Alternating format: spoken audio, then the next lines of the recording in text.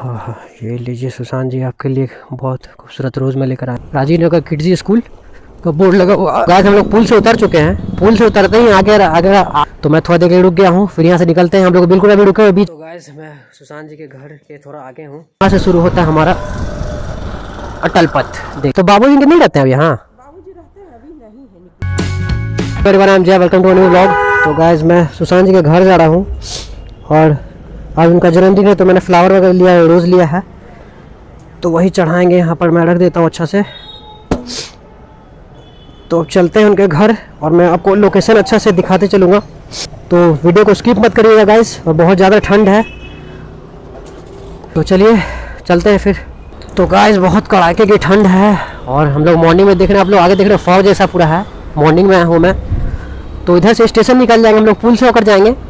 इसके साइड में देखिएगा, यहाँ से हमने से नीचे स्टेशन चले जाएगा तो हम लोग ऊपर से जा रहे हैं, स्टेशन के ऊपर जो पुल है। और बिना स्किप की वीडियो पूरा देखते जाइएगा, क्योंकि मैं डेस्टिनेशन भी दिखाऊँगा मेरे जो नए सब्सक्राइबर उनको पता नहीं है। सुशांत जी का घर कहाँ पर है? ठंड बहुत ज़्यादा है यार, मैं फिर से बोल रहा हूँ। मैं तो बहुत कब कमा रहा हूँ यार। मॉर्निंग में निकला हूँ आठ आठ बजे के आसपास। भाई को तो स्कूल छोड़ते हुए जा रहा हूँ। झूठ नहीं बोलूँगा जो है, देखिए यहाँ से महावीर मंदिर दिख रहा है, वही पूरा फॉग है, इसलिए पता नहीं आपको क्लियर दिख रहा है कि नहीं। बहुत फॉग हो रहा है, चश्मा पहने हो तो और यार क्लियर नहीं हो पा रहा फॉग बन जाता है चश्मा में ना। प्रॉब्लम ये है। तो यहाँ से गाइस इधर हम लोग नहीं जाएँगे, बिल्कुल सीधे जाएँगे।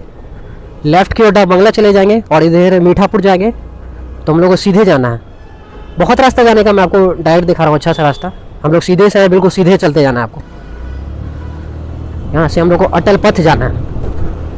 तो अटल पथ जाना है गाइस तो हम लोग इस तरफ़ मुड़ जाएँगे। इधर नहीं जाना है। इधर चाणक्य होटल के साइड है। इनकम टैक्स गोलम्बर निकल जाएँगे इधर तो इधर से हम लोग अटल पथ जाएँगे। हम लोग नीचे से गाइस जा सकते थे बट मैं ऊपर से जा रहा हूँ। जब खाली खाली रास्ता रहेगा, कोई भी दिन आप लोग आइएगा, दोपहर के टाइम में तो ये पुल वाला रास्ता आपको खाली मिलता है। ऐसे नीचे से आप लोग जा सकते हो बट बहुत ही ट्रैफ़िक रहता है जाम रहता है। पूरा स्टेट जाइएगा तो निकल जाइएगा एयरपोर्ट, जो कि हम लोग को जाना नहीं है।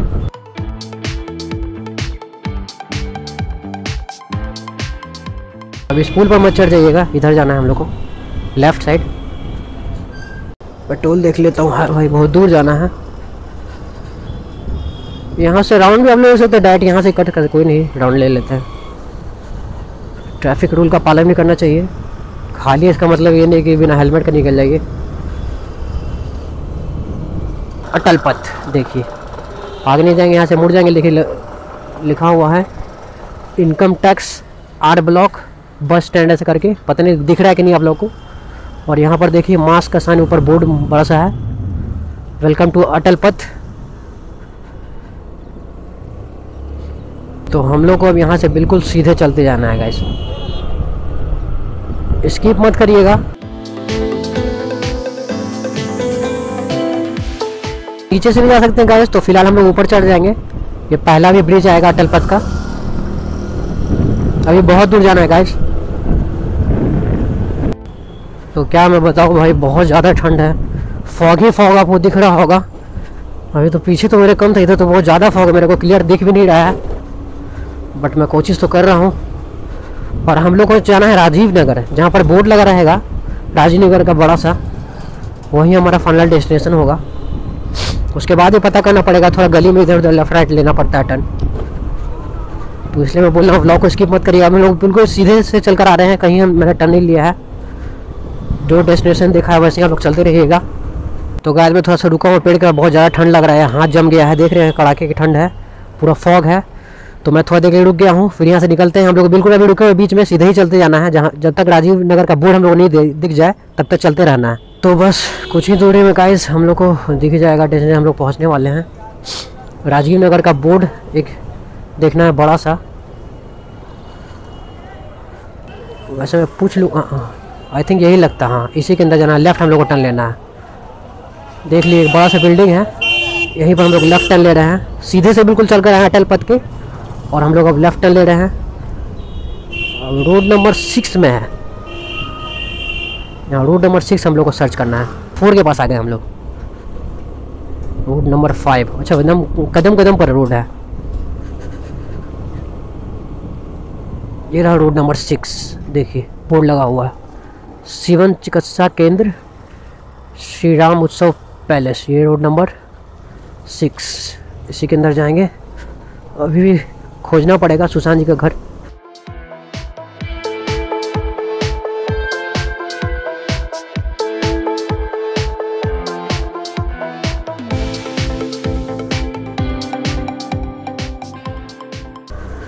तो गाइस हम लोग सीधे से चल कर फिर यहाँ से हम लोग लेफ़्ट ले लेंगे। उधर से आएँगे तो राइट लीजिएगा, यहाँ से लेफ़्ट ले रहे हैं। मैं थोड़ा आगे चला गया था।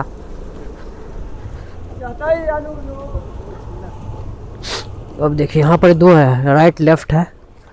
तो आई थिंक इधर मेरे को जाना है लेफ़्ट डेस्टिनेशन अच्छा से देखते चलिएगा। घर पर गया दिख जाएगा तो लोकेशन पता चल जाएगा।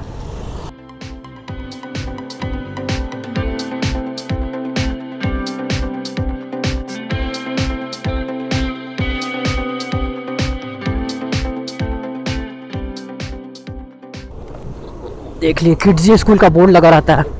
येलो कलर का बड़ा सा।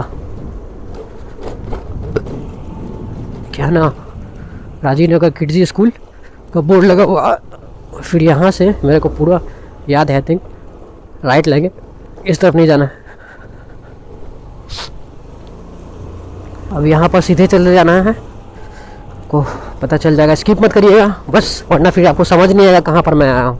ठंड मेरे को बहुत ज़ोरदार लग रहा है यार। हाथ कप कप आ रहा है? देखिए, लाल हो गया हाथ ठंड से। आगे तो नहीं है। हाँ ये रहा आई थिंक यही है। चलिए तो सुशांत जी का घर हम लोग को मिल गया। तो मैं फूल देखिए लेकर आया हूँ, एक रोज़ भी है।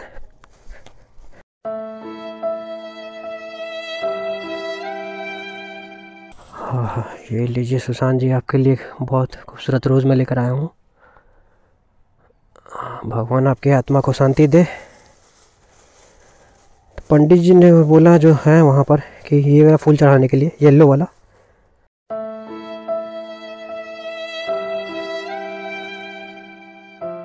तो यही है गाय सुशांत जी का घर, हम लोग पहुँच चुके हैं। फूल भी मैंने चढ़ा दिया, उनका जन्मदिन है। उनकी आत्मा को भगवान शांति दे, मैं यही चाहता हूँ। देख लीजिए। ये है उनका बड़ा सा गेट। वो यहाँ पर रहते नहीं थे उनका बचपन कटा था। उनके पिताजी का घर है ये। अंदर तो नहीं जाने दे रही है बोले कि अंदर नहीं जाना यहीं से मैं आपको दिखा दे रहा हूँ देख लीजिए। एक पेड़ लगा हुआ है। हाँ चढ़ा दिए हैं। हाँ। हाँ आ जाएगा सब कोई ना इसलिए। पूजा पाठ जिसको करना नीचे फ़ोटो भी रख के करेगा अच्छा। कुछ बिछा लेगा पेपर पर नीचे फ़ोटो रख के हम्म। अपना सब कर लेता है। अच्छा। परिवार अपना घर में कर लेता है। कितना को ढुकाएँगे हाँ सही बोले बाबा आते ही तो मतलब बाहर में लगा दिए हैं? हम्म। और जो बाहर के लड़का आता है ना हम्म। लड़का फ़ोटो लगा देता है अपना करता है करने को। अच्छा तो तो बाबू जी के नहीं रहते हैं अब यहाँ? बाबूजी रहते हैं अभी नहीं है निकले अच्छा निकले हो। हाँ हैं तबीयत ठीक है उनका? तबीयत उनका ठीक है ना? ठंडा में क्या ठीक रहेगा? ऑपरेशन वाला आदमी हम्म। उम्र हो गया क्या ठीक रहेगा? बेचारा का अपना दिन कट रहा है इसी तरह। अच्छा। दीदी तो पटना ही थे क्या उनकी बहन पटना ही है इधर? सब बहन लोग बाहर है। अभी नहीं कोई आया है? अभी कोई नहीं आया। तो गाइस मैं सुशांत जी के घर के थोड़ा आगे हूँ।